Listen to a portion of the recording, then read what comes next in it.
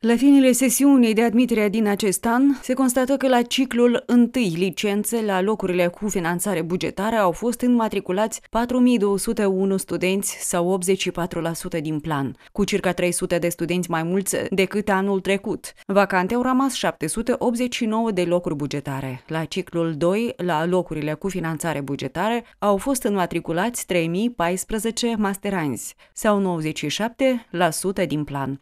Vacante rămân 82 de locuri bugetare. Rezultatele au fost prezentate de Ministrul Educației, Culturii și Cercetării, Igor Șarov. De menționat că majoritatea locurilor cu taxă au fost uh, solicitate de instituțiile de stat.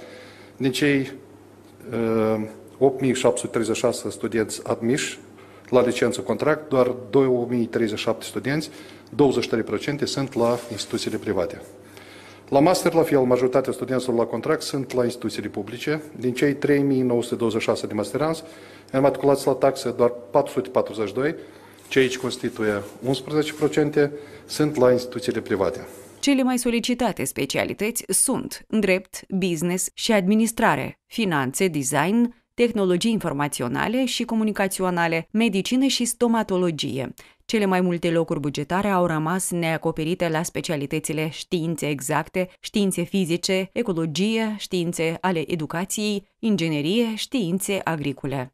În contextul evoluției situației epidemiologice și lipsei acute de personal medical implicat în controlul și tratamentul infecției, planul a fost majorat cu 55 locuri bugetare, 35 la licență și 20 la master, alocate specialităților medicale.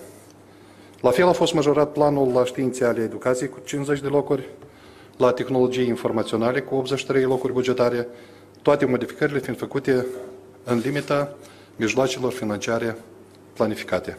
Universitățile au început a doua etapă de admitere pentru locurile neacoperite, atât la buget cât și cu taxă. Aceasta se va desfășura în perioada 21-29 august.